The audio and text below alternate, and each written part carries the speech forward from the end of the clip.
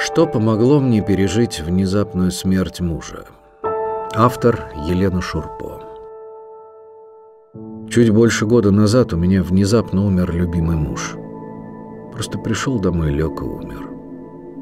Была зима, и я как будто погрузилась в оцепенение вместе с природой.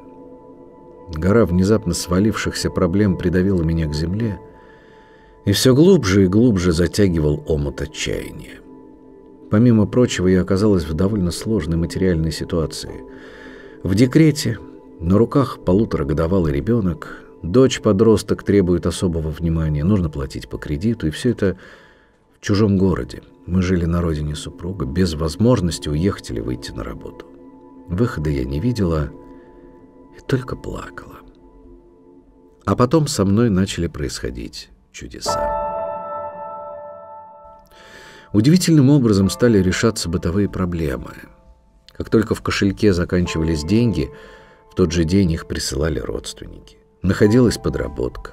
Отдавали старый долг, удавалось продать что-то из давно ненужных вещей, а порой деньги и продукты передавали знакомые или соседи. А утешение свыше обретало порой самые невероятные формы – Внезапный поцелуй сынишки, раскрытое в нужном месте Евангелие или наставление святых отцов, звонок подруги. Наверное, это прозвучит странно, но в горе я, как никогда ранее, почувствовала его присутствие в своей жизни. Однако самое, пожалуй, удивительное — это как мою душу врачевала помощь другим людям. Однажды в соцсети у подруги я увидела фото малыша и короткую подпись «Это не мошенники, помогите, пожалуйста». Перешла на страничку этого мальчика, и сердце мое сжалось от боли. Илюша, ровесник моего сына с тяжелым диагнозом – спинальная мышечная атрофия. Но есть реальная возможность вылечиться. Аппарат, один укол которого останавливает болезнь, самое дорогое лекарство на свете, нужно 160 миллионов рублей, а собрано всего 28. Препарат надо ввести строго до двух лет, остается всего две недели. Если этого не сделать, ребенок будет долго и мучительно умирать. Это прозвучит ужасно, но я тогда впервые осознала, что есть люди, которым хуже, чем мне.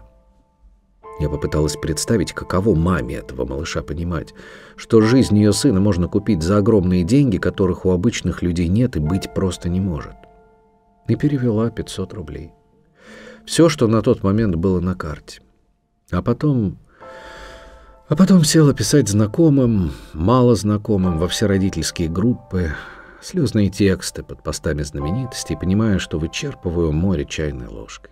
Две недели я атаковала всех друзей просьбами перевести деньги.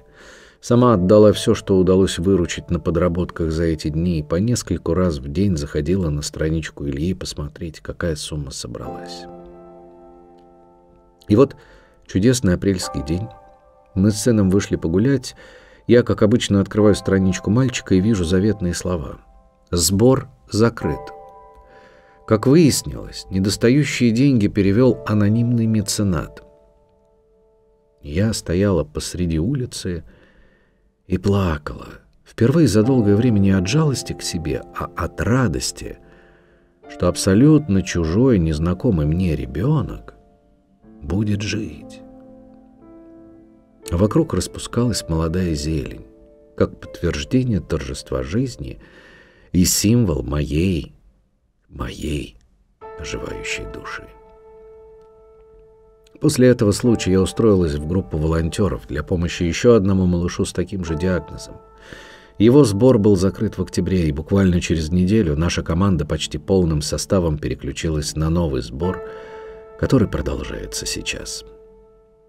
А тот мой самый первый мальчик Илья, он жив. Успел получить свой укол и теперь проходит реабилитацию.